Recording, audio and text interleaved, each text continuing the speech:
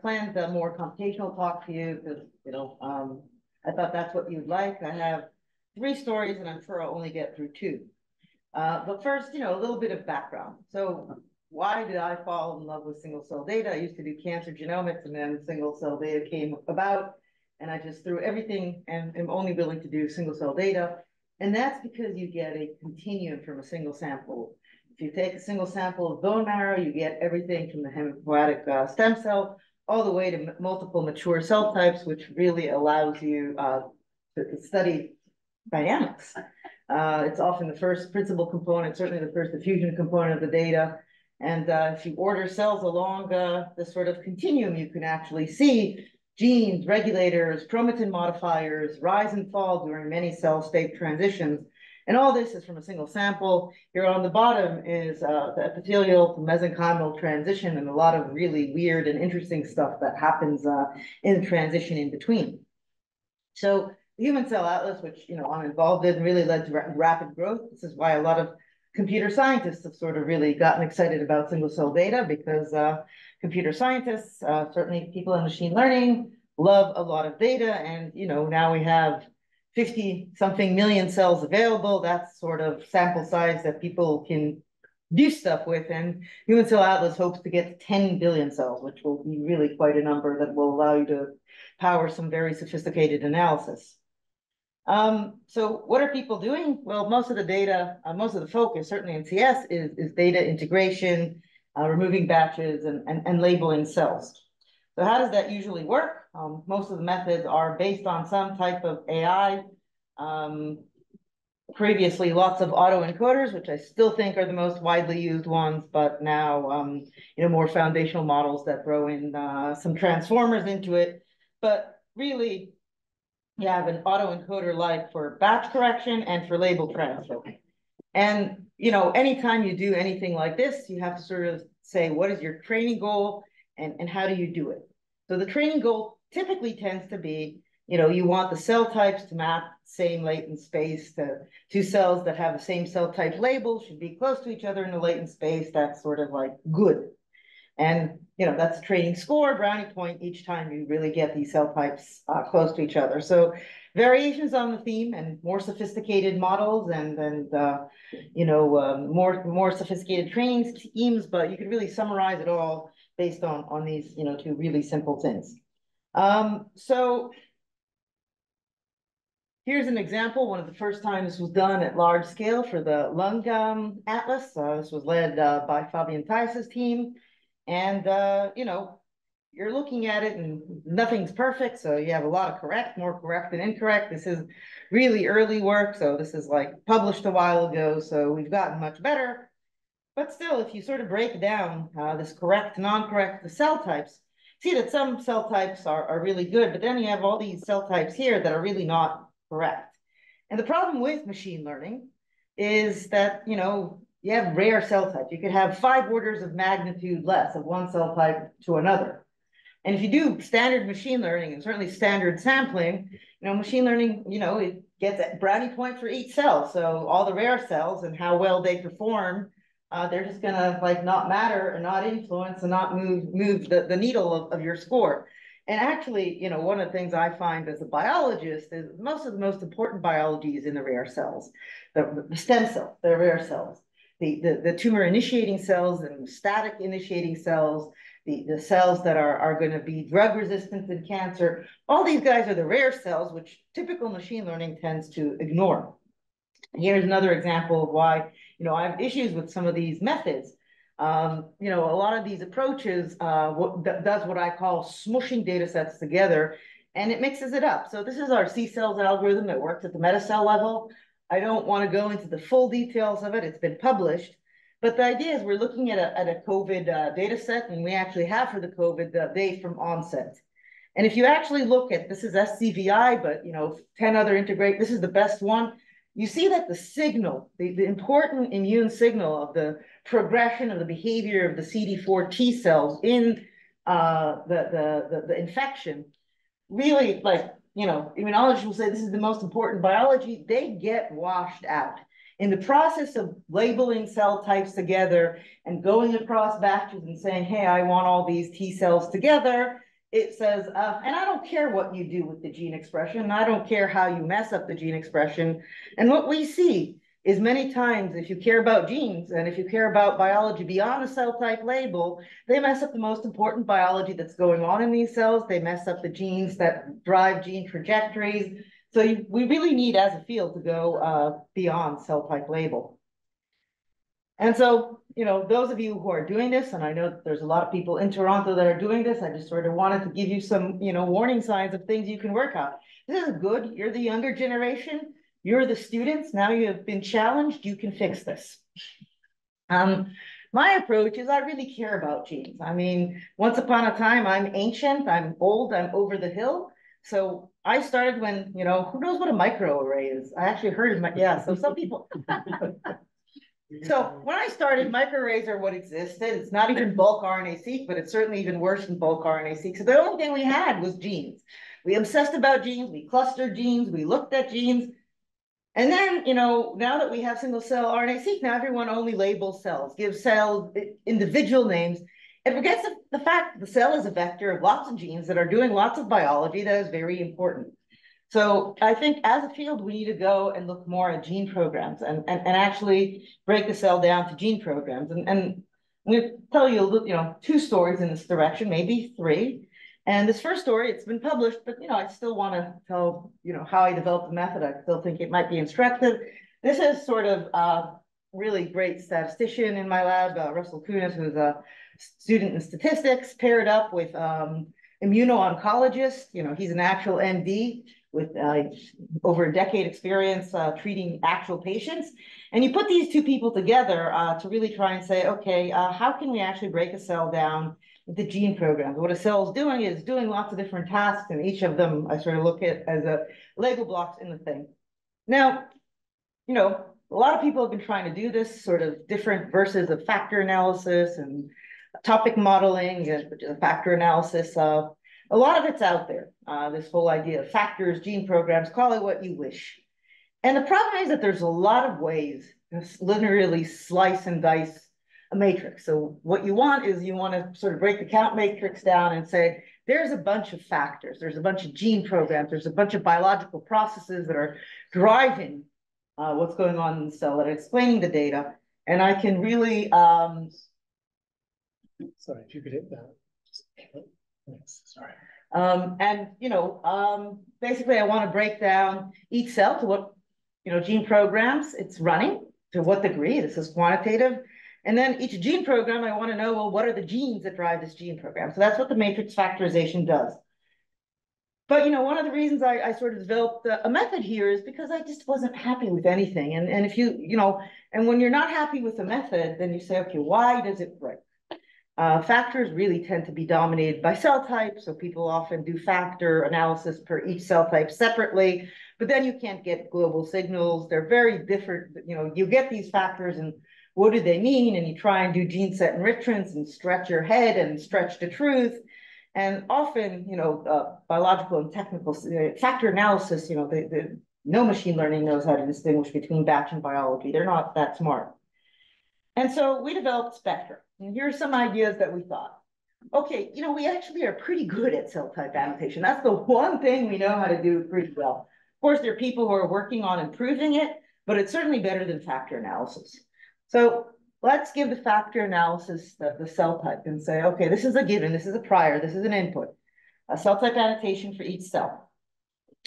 Now, this one avoids having factors that are pretty much sort of messed up, sort of like cell types.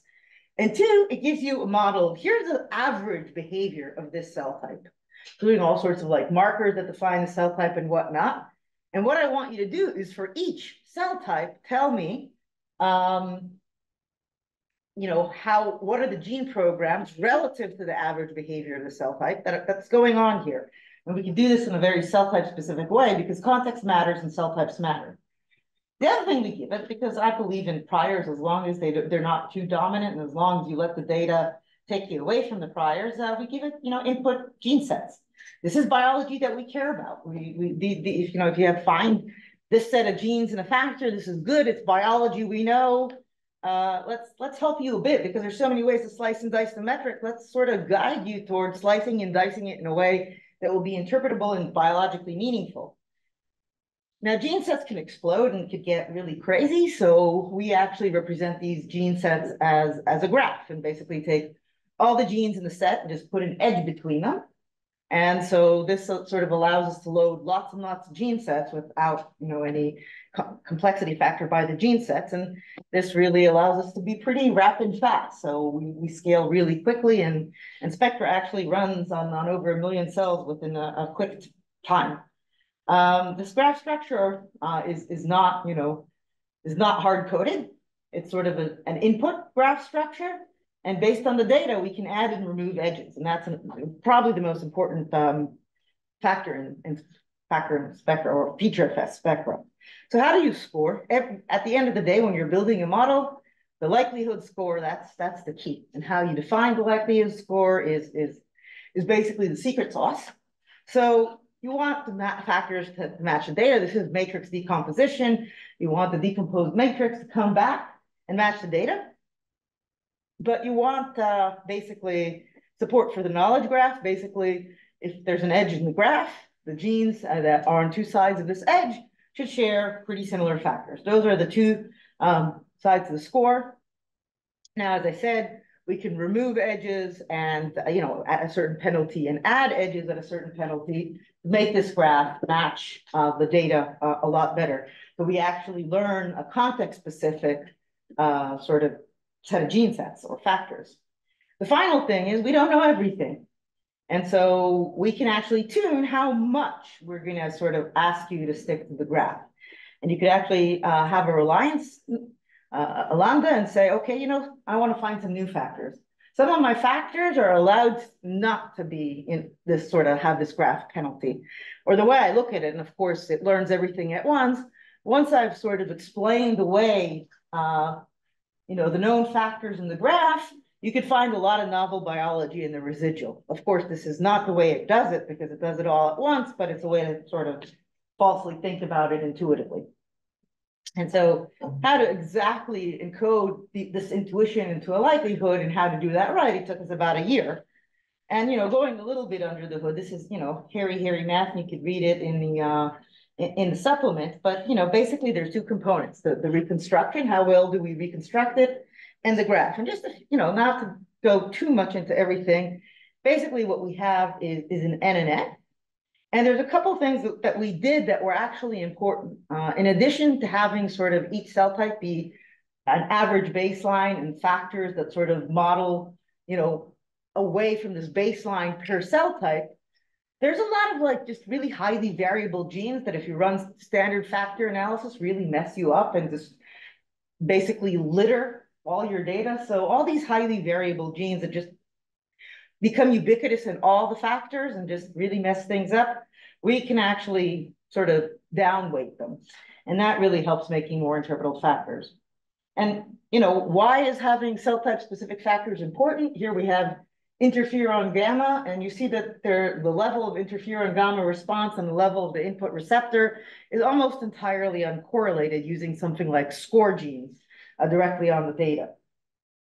But if you actually use spectra, which is again relative to the average of each cell type, then you could see, yeah, the, the, the reason is that macrophages have interferon gamma genes up the wazoo at a baseline, so they dominate it. So because they have all these genes high level at the baseline for all the macrophages, they just dominate the data.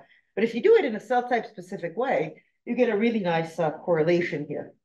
The other thing is again, the, the, the how to model the graph and you know specifically you know, how you, the weight of removing edges, uh, adding edges, which we actually learned directly from the data. And specifically this beta matrix uh, that really defines, um, you know, which factor it really relies heavily on the graph, which factor could be a novel factor, as well as some factor-factor interactions so to allow to biological processes that have some overlap in the factors, even though that's, you know, discouraged by the model. One of the hardest things when you do computational biology, and you probably all know it, I developed a model. How do I validate it? I mean, certainly in single cell RNA-seq, the ground truth is one of the most elusive things you have. So we always sort of scratch our head and try and find the ground truth. And the other thing is, of course, building this data set. Most like gene sets are crap, so we actually built our own gene set. This is available. It has a lot of features. This is hand curated, about 400 gene sets that are immuno-oncology focused, hand curated with a lot of features uh, that make them work really well uh, in this framework. And our ground truth data set is, you know, PBMCs, you know, that have been hit on the head with hard perturbations where we know their answer. So basically, these are sort of PBMCs with an in vitro hammer on the head perturbation where we know what and where is supposed to change.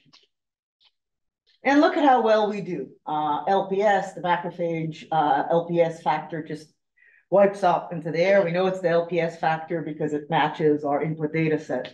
Likewise, TCR and interferon gamma. But you say, yeah, yeah, this was a really easy example, right? Because, you know, I just gave one really hard perturbation and this is, you know, any method should be able to do it. You know, big deal that, that you got this sort of really, really easy thing going. But this is expiMap, which is like, you know, deep learning. Look at how it messes it up. This is Slalom, the most widely used one, uh, factor analysis based on an input prior. So you see that even this super easy example is, is not, you know, that easy for um, other methods. And, you know, our reviewers wanted to try it on a couple other methods, and it's not an easy test case. Now let's try and do something interesting. So this is uh, breast cancer response to immunotherapy. So you have uh, breast cancer patients on PD-1 before and after therapy, responders and non-responders. And, and, then, you know, you can ask what are, what are the questions? And there are many questions. I'll give you an example of two. One is to find the tumor reactive T cells. For those of you who don't know too much immunotherapy, you know, immunotherapy tries to activate these T cells. They're, they're T cells that, that are really these active uh, T cells. The problem is that tumor reactive T cells, what you want, the best type of thing, and exhausted T cells that are just, you know, not working and can't work. As much as they're physiologically different, their, you know, genes actually overlap. It's actually really hard to distinguish between the thing you want and the thing you don't want if you just do, you know, standard approaches. The goal is can Spectra deconvolve these and what does it mean? And macrophages, they're known to be incredibly important in terms of resistance to, to, to, to, checkpoint therapy. It's very clear to everyone, but it's very murky. This whole thing is poorly understand. They're the, you know, who they are, what they are, what's going on with the macrophages is just like a big, you know, wild west. So we ran spectra on this data set. And first, let's look at the T cells. And as you can see in score genes, the tumor reactive and the exhausted, you know, gene input gene programs are almost entirely overlapping. They hit the same cells almost no difference whatsoever. You can't distinguish them. But Spectra, which remember, can take an input gene set and then adapt the graph, you know, it actually said, okay, here's my tumor reactive factor, here's my exhaustion factor. And now it found, you know, different sets of genes. And actually the tumor reactive uh, cells overloaded with the cells that are having clonal expansion, which means they're probably, you know, clonal expansion is a good proxy to tumor reaction. And you could see that the responders had many more tumor reactive uh, cells both before and even more after therapy uh, relative to the non-responsive cells. This is exactly what you want to find. And again, you say, okay, this is easy peasy, but other methods, and again, I'm just giving you each time two, but six other methods do not distinguish between non-responders and responders in their sort of tumor reactive factor. And we even had another ground truth data set where we knew exactly who the tumor reactive cells were. And look at how this sort of histogram just pops up perfectly on the mono cells again. It's ground truth data that just says correct. And again, the other thing is not only to identify the cells, but identify the genes. The input gene set was eight, and now uh, we have uh, 42 new genes. And these new genes actually make a lot of sense and since we started working on this, and since, you know, and, and by the time we actually published it after revision, many of these new genes had been published in that year as, as bona fide um, genes that play a role in, in tumor reactive sets. Okay, macrophages. Clustering fails to really find um, clustering to really find, you know, a, a subset, a cluster that, you know, correlates or corresponds to, to non-responders. So these red cells are the ones that are the, the, the cell type that's expanding in non-responders, and you can see that there's not that much correspondence between the red cells and the black cells, which is the cluster that, you know, did the best, uh, had the best score. Um, you know, with spectra, again, you could look at it as a continuum because these factor loadings are continuous variables. They're not like discrete, not yes, no. And, and we could see actually a continuum of these different factors that, that made a lot of sense. Um, but really what we focused on is this one factor, which really overlapped, you know, really nicely uh, with our expanding uh, cells in the non-responsive cells. And this was a novel factor with the low lambda. So this factor didn't match any input gene set. It certainly corresponded very strongly in non-responders. And the very same factor in a sort of independent validation data set also matched non-responders. So this is a, a, completely different data set. It's even a slightly different clinical setting, but we still got the same sort of novel macrophage factor, something that strongly correlates with non-response. Now, at, and of course, you know, there's a lot of biology to learn from that, but I'm going to skip that part. Now, you know, we're talking about Atlas integration.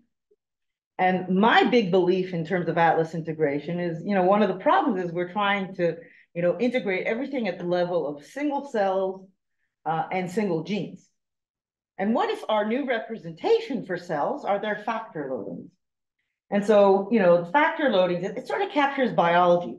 So what we decided to do is we, we ran um, spectra on 318 patients collected from 21 different studies from all over the world with no batch correction whatsoever. We inputted the original data, nothing just each, you know, sample, just put it in there in the spectra all together, no batch correction. And, you know, some of the factors actually were factors like batch. This factor is a factor of frozen cells. Um, and then again, once you can account for the batch of factors, then you can get cleaner biology.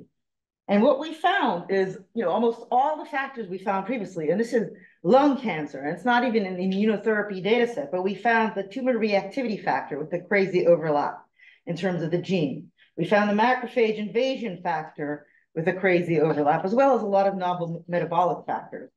And now that we have a cohort, then we actually can take factor loadings and match them with clinical covariates and found a lot of sensible things.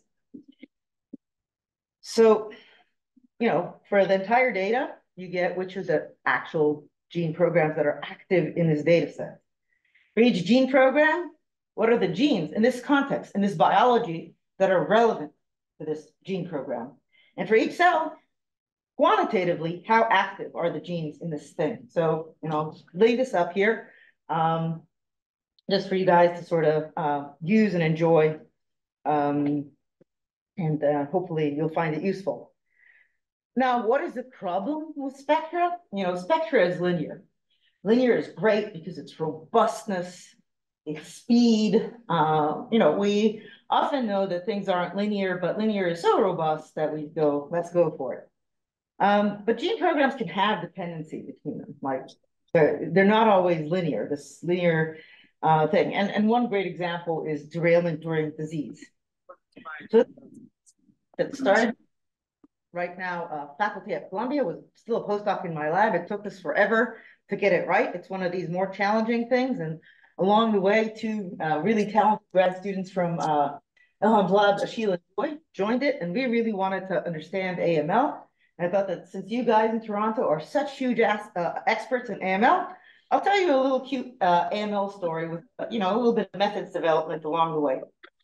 So AML is a, a development derailed. And I said one of my favorite things in, in single cell data is sort of continuums, the fact that you could get, you know, hematopoiesis from a single and here AML is hematopoiesis gone wrong. And if you look at, at the cohort level, this is sort of uh, uh, data that we collected, these patients are actually Canadian, they're from Montreal, not from Toronto. Um, each AML is uh, drastically different from one another you don't want to integrate this. This is not batch because the immune cells perfectly overlap. So doing batch correction on cancer cells is typically wrong because cancers, individual cancers are very unique and you can sort of get as a sanity check, the immune cells are well mixed. So This is not an issue of batch. This is true biological difference between the patients.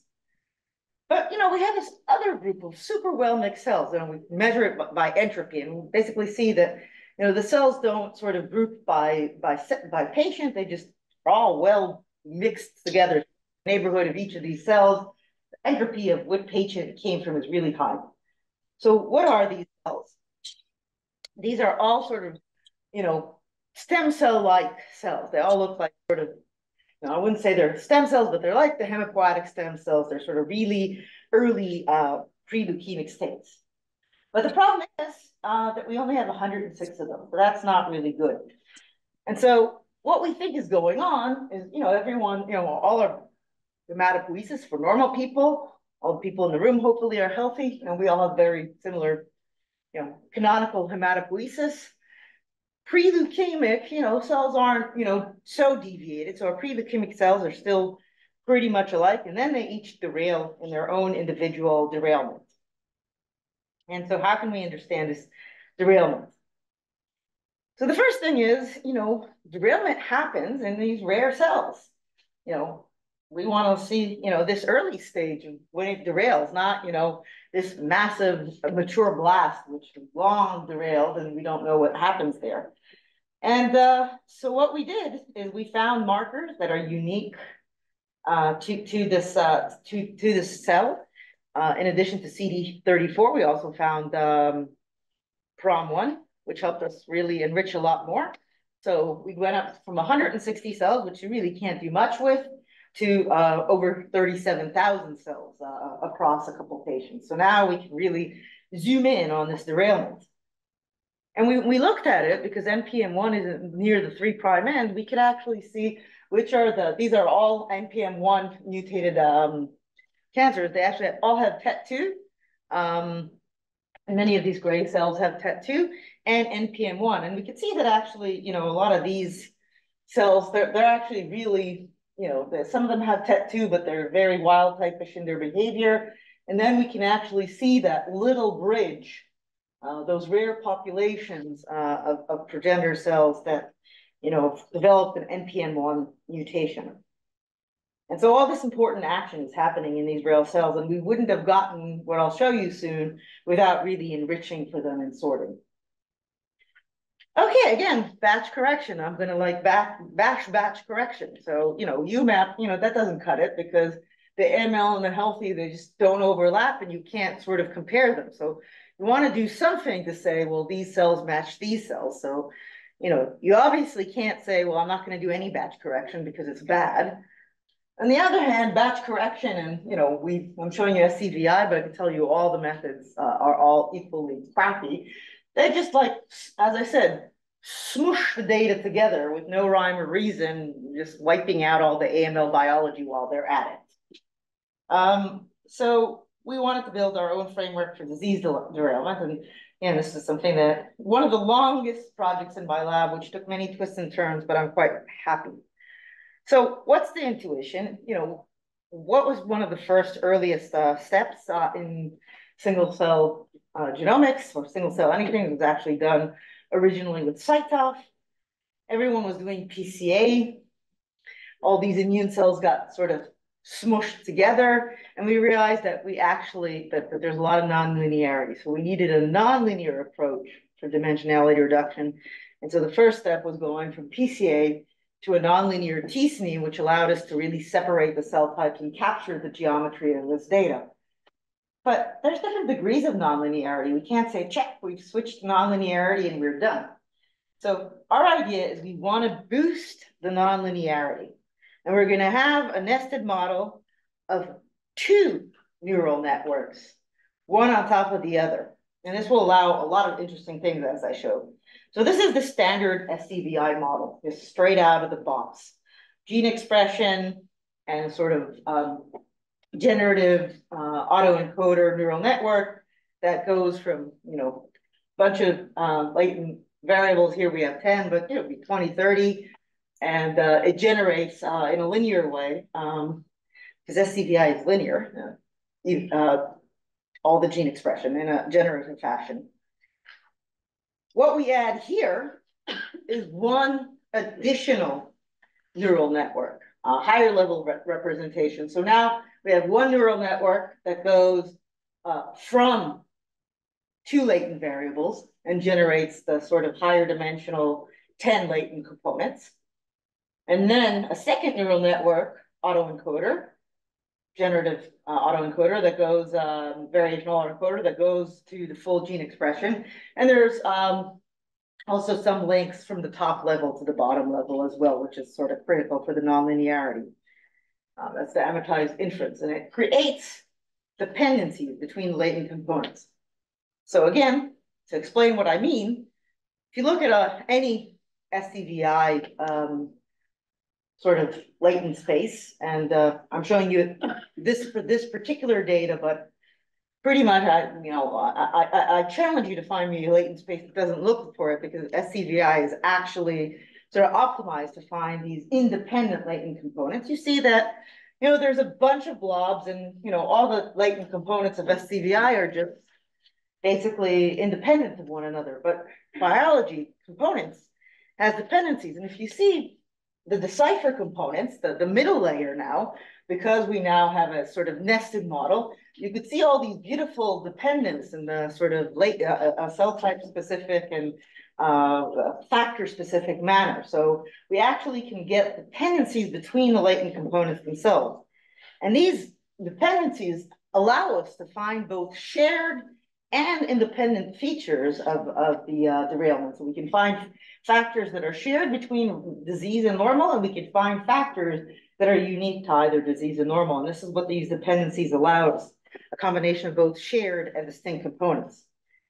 Another great advantage of having a, a, a deep, deep, a deeper latent layer that's only two dimensions is you have a latent of two dimensions. There's no, let's take the latent space and do you know, whatever you map on it and destroy the geometry of the latent space. We are directly plotting the two dimensions of the latent space right here. And lo and behold, the first uh, latent variable is maturation. If you sort of look at the genes, if you look at the annotations going from left to right, you actually see both in the AML early blasts, late blasts, and in uh, the, the healthy uh, component, early cells and, and fully mature cells. The Y component is disease derailment. I'm showing you one example, but like we've run this on uh, now 20 different AMLs. We've run this on sort of colon cancer and a bunch of other cancers. It's pretty consistently, you know, coming up as the two strongest components in sort of developmental disease, cancery things, where one is the disease and the other is sort of like the, the major axis of, of development. See how it organizes nicely in the cell type along, you know, the order that you expect. And again, you know, you actually see the sort of NPM1 uh, mutation starting to rise exactly, you know, during the disease derailment. Um, so you know, I can wave my hand and say, look, this is great and I got it perfectly and I'm awesome, but we wanted to try and quantify this. And again, building ground truth was very high, hard, so we decided to build a score that's sort of really based on um, uh, sort of logic. So what do we want? What is a good organization? What is success in terms of like our scoring metric? We want the cells to be ordered to their maturity, whether they're in the healthy or in the AML, you know, we want the ordering of you know earlier cells to become before uh, later cells and to sort of the latent to sort of organize the ordering according to the known biological order. And we want the derailment, like if we have very early AML cells close to, to you know very early hematopoietic cells, that's okay. But if we have late full-blown AML blasts that are mapping to normal hematopoietic cells, that's bad.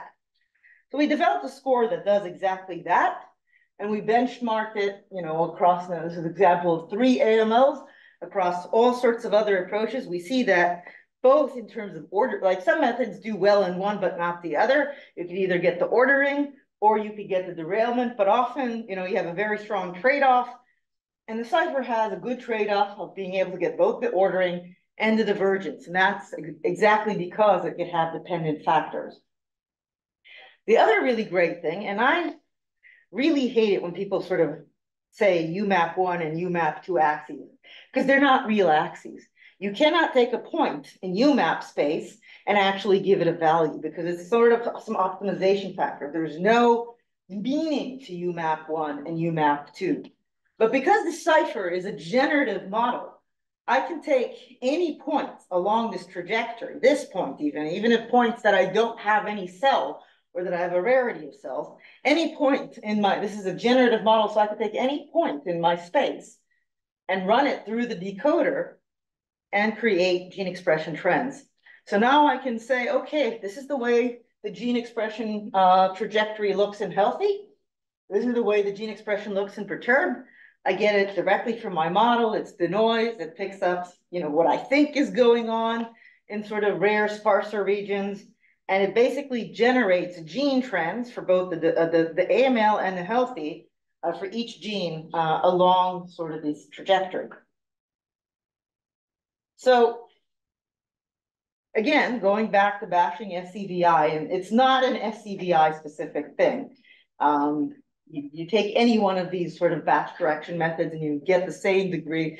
You know, here, oh, suddenly, you know, CD, you know, you, you get opposite trends, you get behaviors that don't exist. As I said, the data integration really messes it up on, on, on the gene level. And, you know, these are really important genes for, for AML.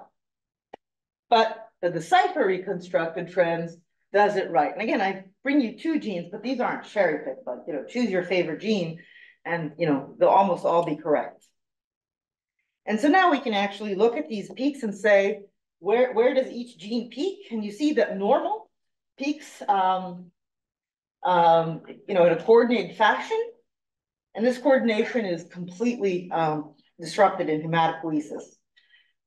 To really understand shape beyond just a single peak, uh, we built a generative model that actually, you know, decomposes uh, each trend into a bunch of canonical patterns, a, a, basis decomposition of patterns so that now we can quantify and compare gene trends, basically giving a shared gene, uh, shared, a shared basis for all the genes and all for the disease and normal, allowing us to have this sort of uh, weight functions to allow to do a comparison. This allows us to find the cascade of the most disrupted genes. So these are the most disrupted TFs in AML1 and the cascade of where they peak. You could see how this relates to exactly where the NPM1 mutation has. So after the NPM1 mutation, we have this cascade of derailed um, uh, uh, uh, transcription factors. And actually we find in this sort of cascade, a lot of the motifs of earlier transcription factors appearing uh, in the ATAC sort of open regions of later transcription factors. So you're actually creating a cascade of one derailed transcription factor derailing another along this cascade. And what's really nice is, you know, we ran this analysis separately and independently on multiple AMLs. And, uh, you know, we see um, that GATA1 and KLF is already disrupted by TET2. Uh, we see coordinated Hox family disrupted by an, oh, I forgot. So I was saying 15 out of these 20 most disrupted TFs were independently found in three separate patients, three separate data sets. So this is something canonical and found independently. And we could actually now say when different things are disrupted relative to TET mutation, uh, relative to NPM1 mutation. And so again, this is, uh, you know, an extra layer of nonlinearity allows us to capture derailment, allows us to capture factors um, that are dependent, allows us to really break down gene trends into sort of uh, comparable factors and a direct 2D visualization. Now, I said I'll never get to the third. I'm always like included just to see if things go really fast. Uh, MSK is a great place. It's in New York City. It's a fun city. And I have two types of jobs. I always have uh, postdoc positions available, but also we have a single cell innovation lab. And the single cell innovation lab uh, actually has staff positions uh, that are more stable, less stressful, and better salaries for computational and experimental uh, biologists. But, you know, you don't get to do this, you know, cutting edge, most innovative projects. It, it does have a service component. So there is a trade-off here. And uh, finally, you know, um, Russell and Thomas, um, developed Spectra, a bunch of other great people in the lab. Elham, uh, together with Vincent in my lab, did the first steps of, uh, Decipher and then, uh, and Joy really pushed it, and this is us and another great thing that you have in New York City, uh, Drunken Shakespeare, uh, which if you're ever in New York City, I highly recommend, uh, taking an evening in Drunk, Drunken Shakespeare, especially if you're, they have to be over twenty-one year old grad students and, uh, it's a blast. So thank you very much.